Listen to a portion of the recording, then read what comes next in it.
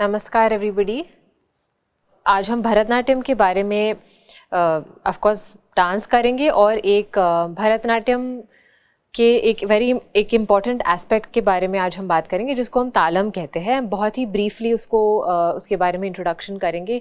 बहुत बड़ा टॉपिक है, पर थोड़ा इंट्रोडक्शन आज आपको मिलेगा। तो भरतनाट्यम का जो जो शब्द है, उसमें तीन पहलू, चार पहलू जुड़े हुए हैं।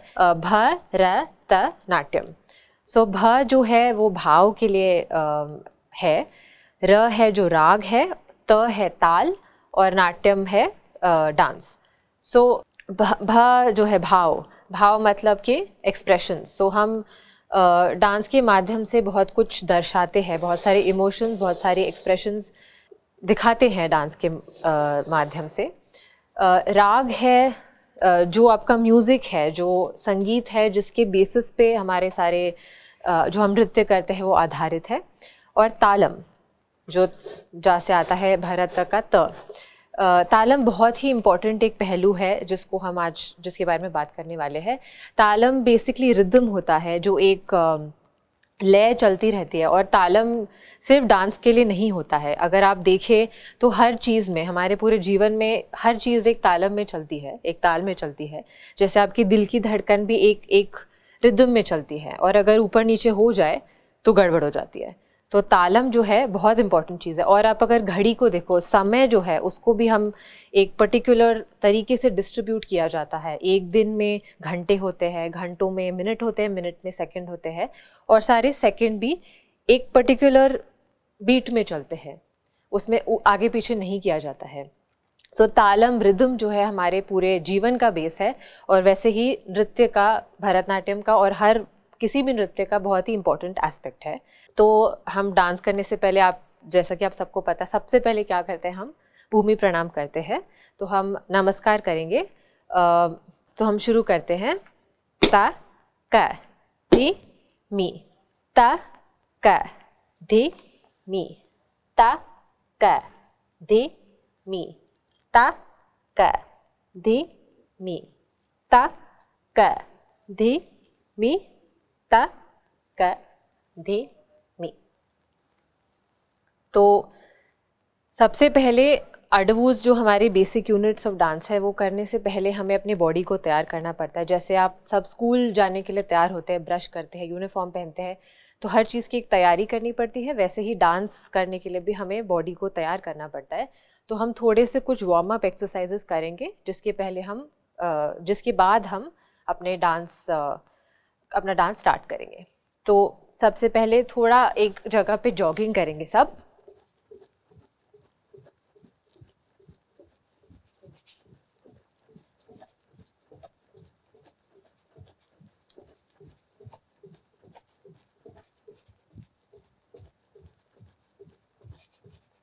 Okay okay. इसके बाद थोड़ा शोल्डर रोटेशन करेंगे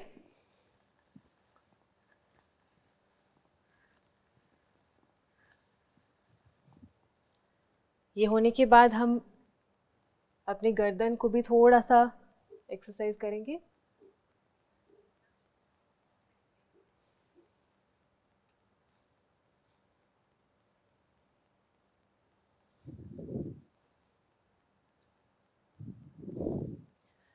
इसके बाद हमारी वेस्ट को भी थोड़ा सा हमें मूव करना है तो हम ऐसे सर्क्यूलर मोशन में करेंगे।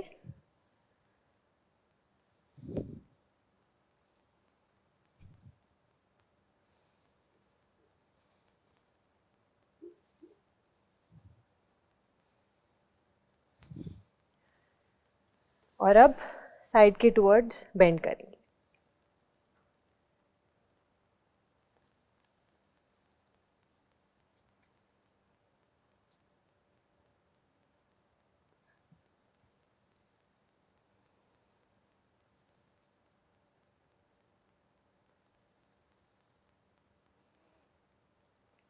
उसके बाद फ्रंट बेंड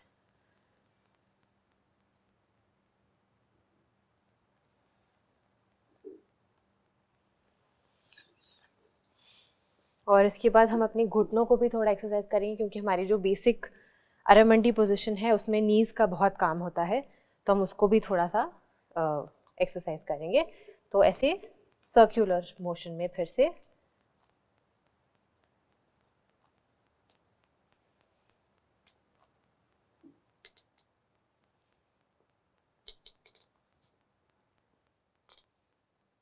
और फिर।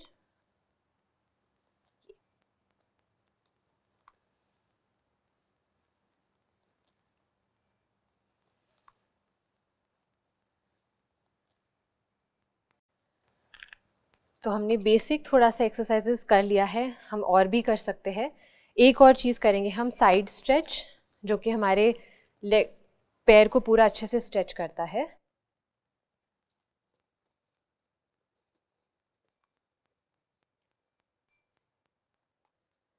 इसमें बैक को एकदम स्ट्रेट रखना है, ऐसे आगे नहीं झुकना है, एकदम स्ट्रेट रहना है।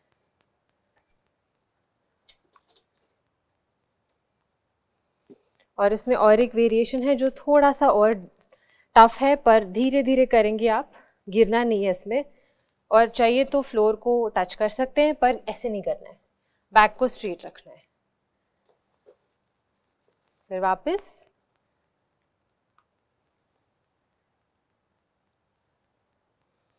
और एक बार।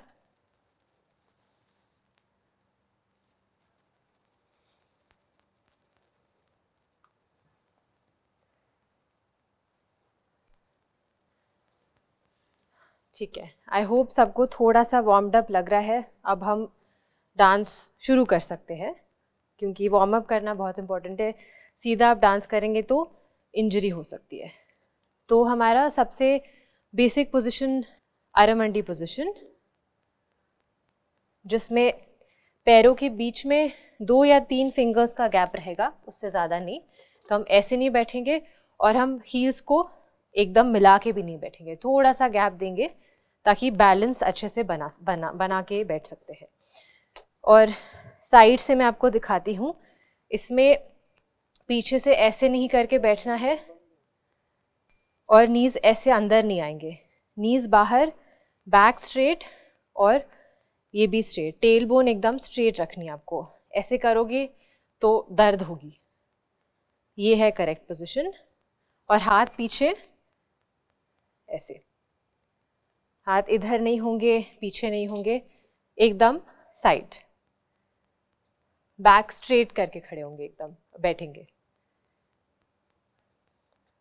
उसके बाद जो हमारी और एक इंपॉर्टेंट पोजीशन है, वो है मुरुमंडी। उसी पोजीशन में हम नीचे जाके बैठेंगे नीज आउट और हम बैठेंगे टोज पे।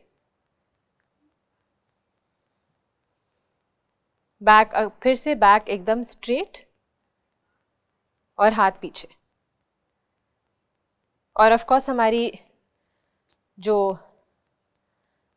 समपादम पोजीशन है ये भी इंपॉर्टेंट है क्योंकि हम इसमें भी थोड़ा डांस करते हैं।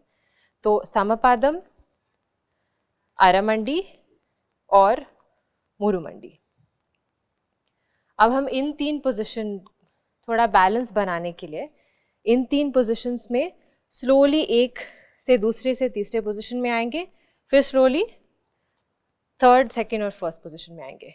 तो आप आप लोग हाथ आगे रखिए, पैर खोलिए और त क धि मी। त क धि मी।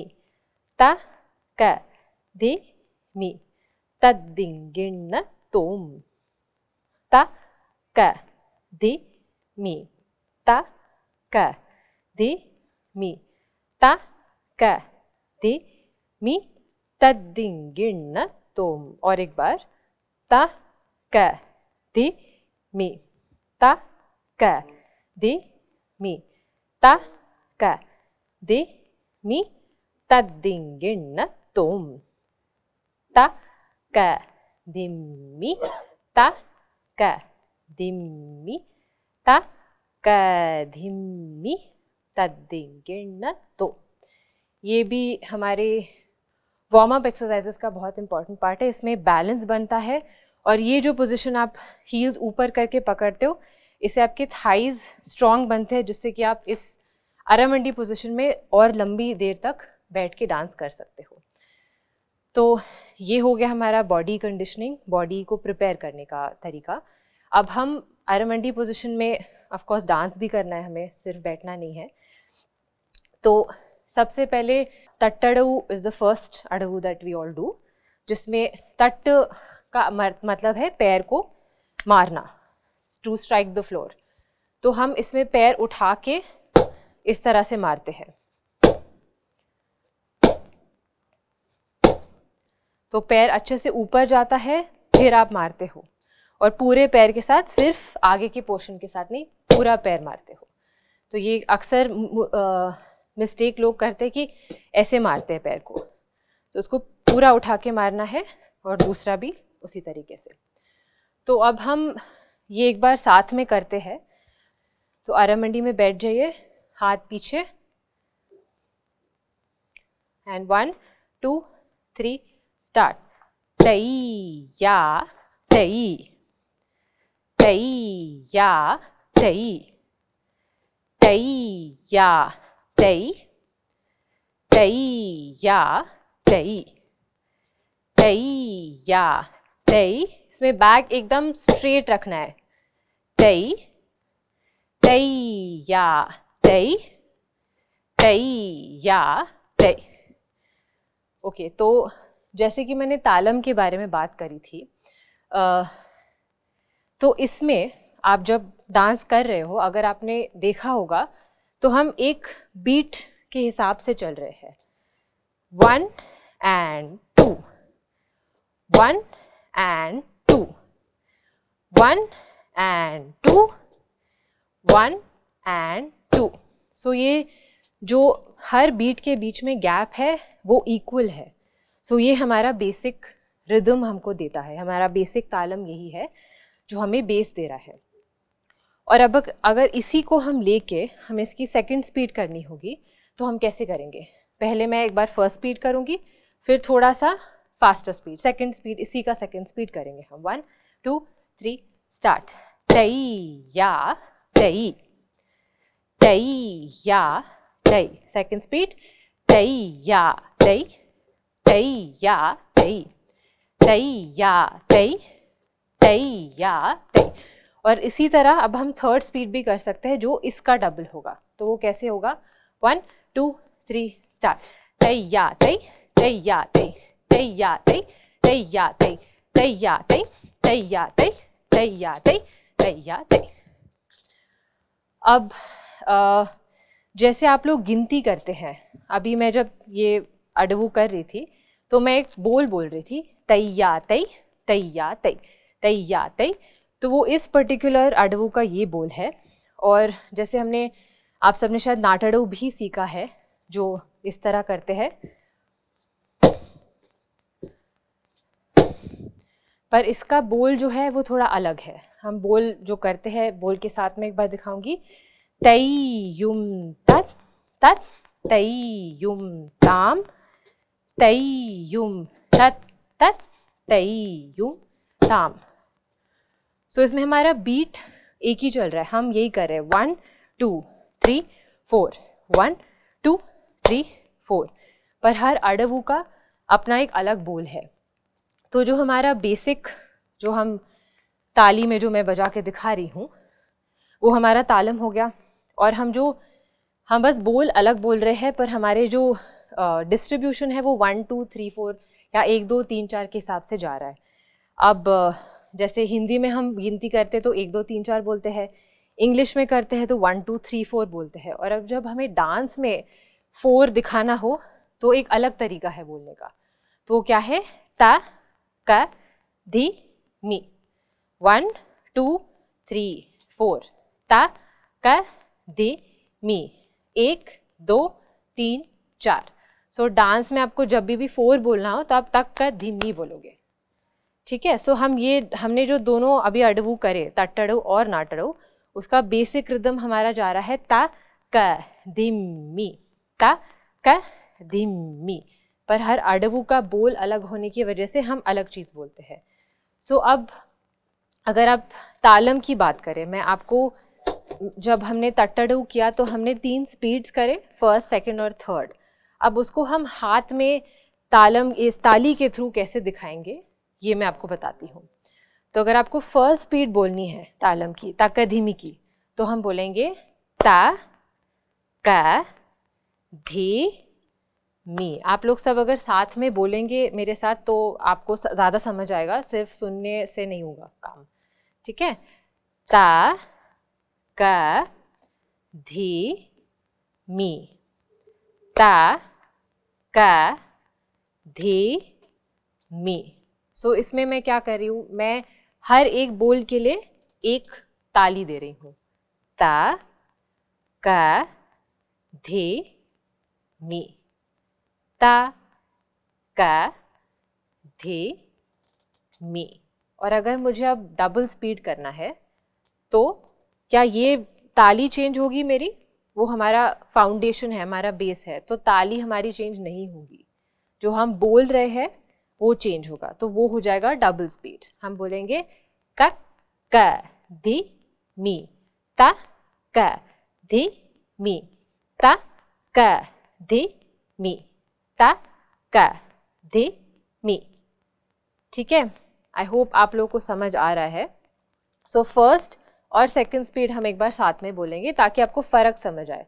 तो इसमें इसमें ध्यान रखना कि आपको जब आप तालम दे रहे हो जब आप ताली मार रहे हो तो आपको उसका स्पीड नहीं चेंज करना है। जो आप बोल रहे हो वो चेंज होगा। एक बार सब साथ में ट्राई करते हैं। वन टू थ्री स्टार्ट ता क धी, मी. ता, क, धी, मी. सेकंड स्पीड का क, धी, मी. ता, क, धी, मी. ता, क, धी, मी. ता, क, धी, मी. तो अब सेकंड स्पीड में फ़र्स्ट स्पीड में हमने एक एक ताली के लिए एक बोल बोला, ता, क, धी मी ठीक है? और सेकंड स्पीड में हम दो शब्द बोल रहे हैं, दो लेटर्स बोल रहे हैं। तक, क, धी, मी। तक, क, धी, मी। तो ये हो गया हमारा सेकंड स्पीड अब थर्ड स्पीड में क्या करे, करेंगे हम? सो अब अगर हमने सेकंड स्पीड में हमने डबल किया है तो हम थर्ड स्पीड में फोर टाइम्स करेंगे। सेकंड स्पीड का डबल तो कैसे होगा?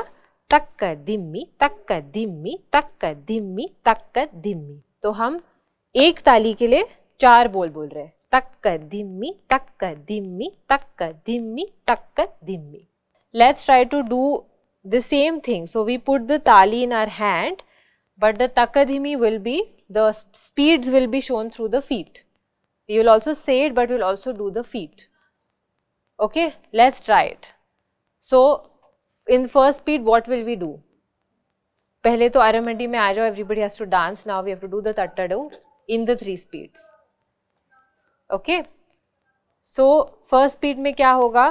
फॉर वन ताली वी से ता का धी and me and for and then equally we have to beat one foot for one bol so ता का धी मी ta, ka, dhi, me.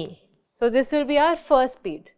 Now, second speed may we will beat double in the feet and what we are saying but our tali remains the same. So we do ta ka dhi mi ta ka dhi mi ta ka dhi mi ta ka dhi mi अरमंडी में अच्छे से बैठना है। क्योंकि हम कर तो भरतनाट्यम ही रहे ना, उसमें aramandi position is important back straight और नीज बाहर। अब इसको करते हम। वन टू थ्री स्टार्ट ता का भी, मी। ता का भी, मी। ता ka dhi mi ta ka dhi mi ta ka dhi mi ta ka dhi mi ta ka dhi mi ta ka dhi mi ta ka dhi mi ta ka dhi mi ta ka dhi mi ta ka dhi mi